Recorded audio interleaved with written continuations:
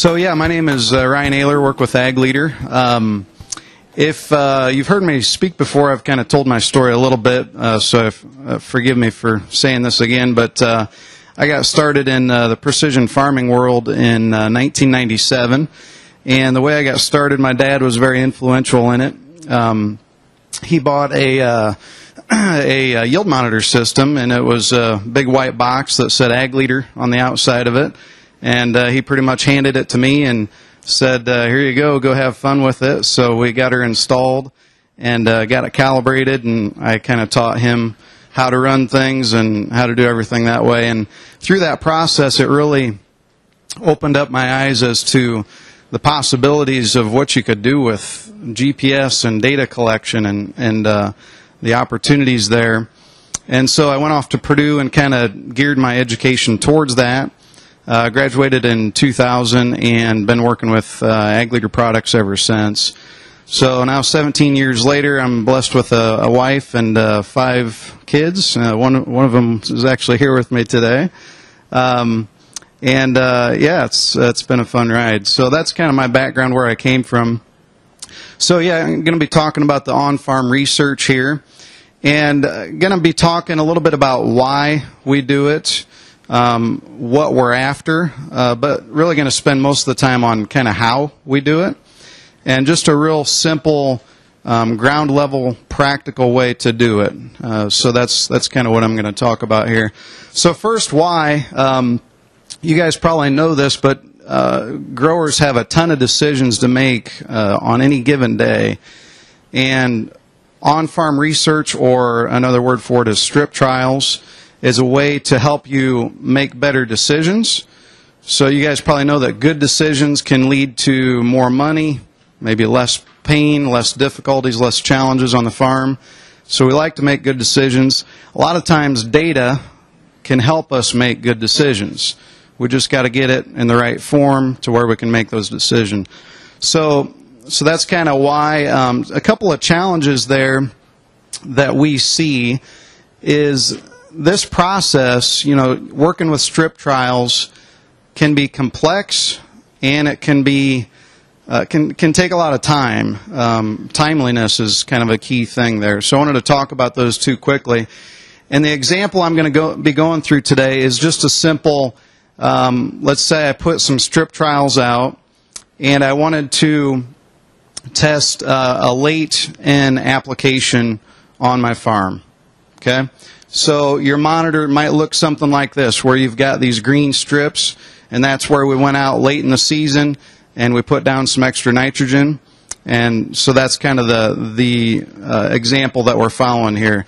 So the complexity in this, we've kind of outlined six different steps that typically up to today that we've had to go through in order to collect that data and to get it to a place where we can make decisions.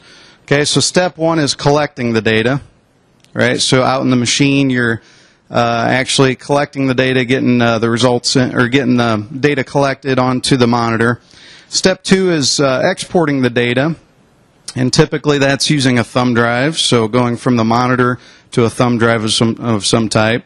Step three is taking that thumb drive, getting it into some sort of software that can read the data and make sense of it. Then there's usually a fourth step in there where you manage the data. Sometimes you got to fix your field names. Uh, sometimes you got data in the wrong field that you got to organize. A little bit of cleaning and processing of the data. So that's another step there too. And then finally, you get it into a form where you can easily view it, whether that's a map or some reports or spreadsheets or th- something that way. And then the last step there is then to actually make decisions based on the information that you have. Okay, can everybody relate to that? Does that make sense? So, in my 17 years, I've seen a trend with this process. Okay, this this graph here is just my own observations. It's no scientific research of any type. It's just my estimates of what I've seen where we lose guys along these steps. So, step number one, collecting the data. Most guys can do that fairly successfully. Now, there's an argument of whether you're collecting good data or not. You know, there's garbage data that can be, you know, garbage in, garbage out. Um, so a lot of guys do that well, but when we go to export the data onto the thumb drive, I've noticed that we start losing some guys there. And my estimate is only 40% of guys that um, are growing, uh, are farming, are actually getting the data out of the monitor onto a thumb drive of some type. And then the next step is actually getting that data into some sort of software that can make sense of it. And again, we lose another big chunk of guys. My estimate is we're down to 20% at this point. Okay, and then uh, so on and so forth. Here we're down to 15% to the point where we get down to maybe 5% of guys are successfully making decisions from the data they're collecting. Anybody relate to that? Anybody struggled along that process? Yeah, so I've seen my own dad do this, and I've seen many, many customers do this. So it's a, it's a big challenge. It's complex, and and there's some difficulties there. So there are now some ways to skip over some of these steps. Um, some of it deals with the wireless data transfer and better mapping tools. Um, other ways that we're doing this is instead of dealing with other devices, such as a laptop computer or even a smartphone or a tablet, let's do as much as we can on that monitor that's in the cab. Okay? Because if we don't have to move data at all, boy, there's a lot of stumbling blocks that we're not having to deal with. So that's one way to simplify, and I'll show you how we're doing that. But uh, yeah, the goal if if we can if we can jump over a lot of these steps, then the reality is we can prevent losing a lot of folks along the way. And that's part of the goal there. Okay, another challenge is timeliness. When do you guys um, do most of your analysis in the real world? What's that? Off season? Okay. What about in the cab when you're harvesting that field? Is that does that ring a bell with anyone? I know that's when my dad is making his observations. He's looking at the field. He's seeing how it's producing, the low spots, the high spots, uh, seeing some of the mistakes he made earlier that season. So I would argue that most analysis happens in the cab when we're harvesting. And here's another one of my uh, homegrown charts here. Again, this is just my own observations, no scientific research to back this up. But I would argue that in order to make decisions, good decisions from data, the more time that we allow to pass, the less likely it is to actually make a decision off of that. So the most likely time to make decisions or observations is when we're in the field harvesting that, that crop. As an hour goes by, we finish the field, and an hour later, what are we thinking about now? We're thinking about the, the next field that we're in, right? So the field that we finished is kind of in the back of our mind. Now we're thinking about where we're at now. Uh, a day goes by, a month goes by, six months go by, and the reality is, is we're, we, we're not thinking about what happened in that field as much. So making decisions off of that, what we learned, is less likely. So timeliness is, is a big challenge there as well. Okay, so I'm going to demonstrate uh, a real world um, practical use of how to get over some of these challenges and, and uh, how to keep it in the cab there. Now, you'll see that uh, I'll have several screenshots here. All of these screenshots come from our InCommand 1200 display, um, just so you're um, connecting with that. So let's go back to our example of a late N side dress, or uh, a late N strip trial um, here. So again, the green strips there are where we put down some nitrogen later on in the season, uh, and we alternated passes there. And uh, what Kaylee was talking about earlier and how to set up these passes was was really good. So I'm not really talking about you know how to set this up. I'm just showing you where these strip trials have occurred. And if you guys have seen a movie where uh, where they show the ending first, Have you guys ever seen a movie like that? They show the ending first, and then then you know the rest of the movie is kind of how do they got to that ending. That's kind of what I'm doing here. The results that we're after, or the results that we're going to get, is this right here. Okay, this is a summary report that is on the InCommand display. And you might be able to see that there. It says late N and normal N, and it shows a yield result of, of those two things there. So that's kind of the answer that we're getting after. How much yield response did I get from that late N application? We also might see an, a map there on the screen, and we might see some strips there, uh, see some yield response in the map. Um, maybe see that, maybe not, but that's that's another outcome that we might be looking for. Okay, so how did we get to this summary report? How did that data get to where it's at? That's what I'm going to walk through here now. Okay, so we fire up the combine, we've got our InCommand display running, and we're ready to start harvesting. We hit the split screen button on the InCommand display, which is this button right here, and that now divides my screen into two we have the ability to pull up previous or historic maps on the split screen. So what map do you think I pulled up here? Does that look familiar? It's, it's that late season N application that I did several weeks ago. Okay, so I've pulled that up while I'm harvesting so that I can see where those strip trials occurred. Well, why is that significant? So now, as I'm harvesting, my icon shows me where I am in the field and in relation to where those strip trials occurred. And that's kind of a big deal because now I can use our region tool and I can tell it, okay, now we're harvesting the late N application. And then I pick from the list as well that we're harvesting our normal N application. So I'm basically telling the yield monitor, okay, let's put this data in one basket over here for the late N, and then I switch it over to, okay, this is our normal nitrogen program now. So it simply divides that data when we tell it to. This, this, this would be a pick list uh, that we choose. And um, so as we are harvesting, you know, on these strips here, we're going to tell it, okay, this is late N data. And when we're not harvesting those strips, it's not late N. Okay, and so that signals the monitor then to be able to tell the difference between the two. If uh, any of you guys have used the variety tracking type of features in our displays, it's kind of similar to this. So it's the same kind of tool uh, that way.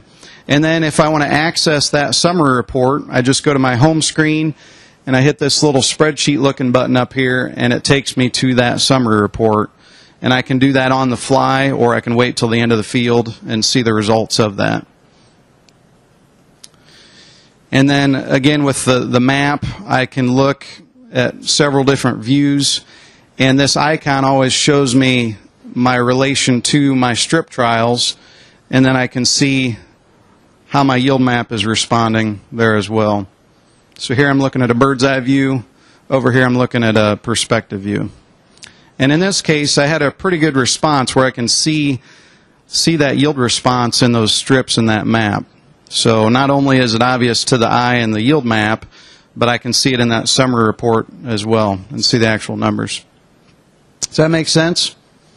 So very simple ground level way of doing strip trials, uh, way of analyzing them really.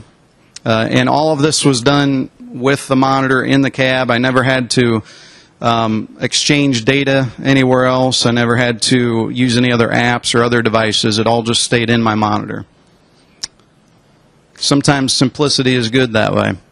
If you want to take your data outside of the cab, we do have uh, an AgFiniti mobile app that can show you those same sum reports and the yield maps. Uh, I can also view it on my smartphone, and uh, I can do that as well.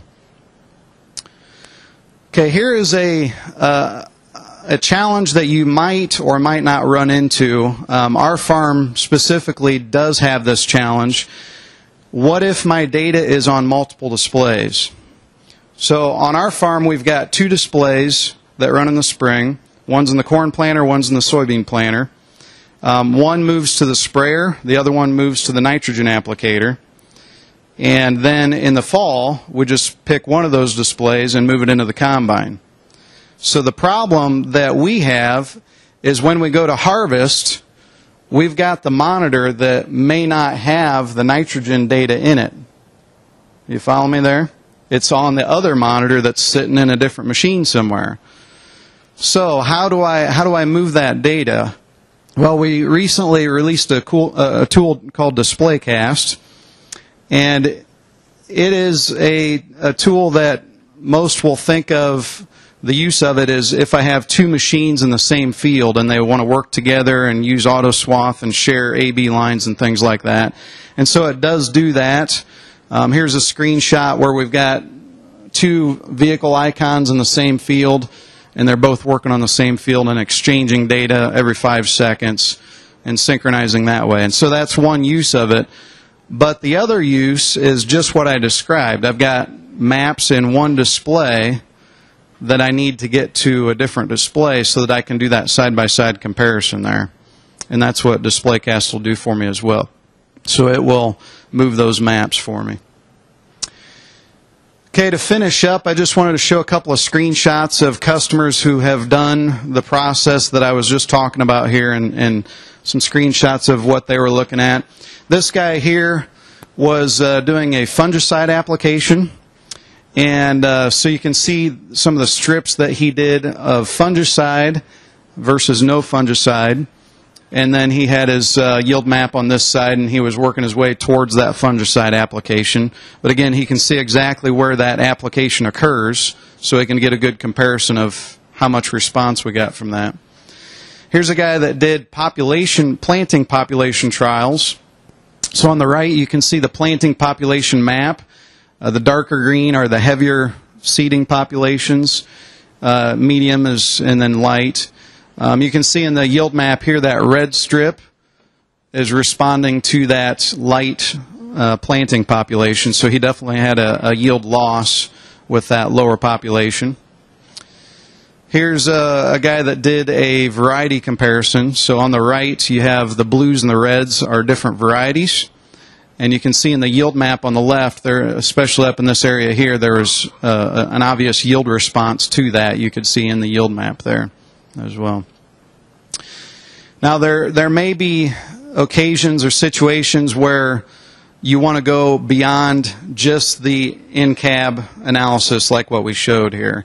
So there may be times where the data is maybe too complex to show just on the monitor.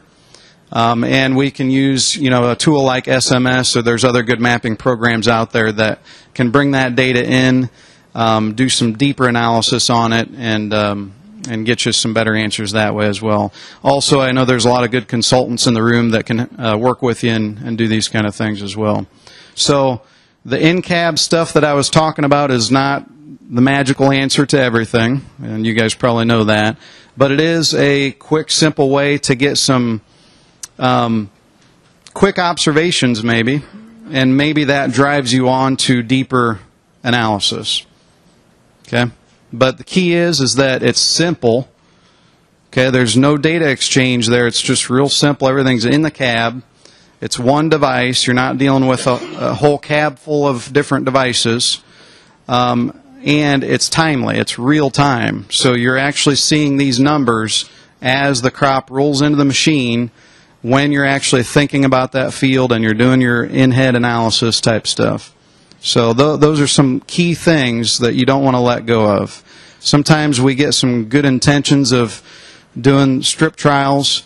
It's real easy to get too complicated in a hurry, and then you lose the whole you lose the whole program because you're too complicated.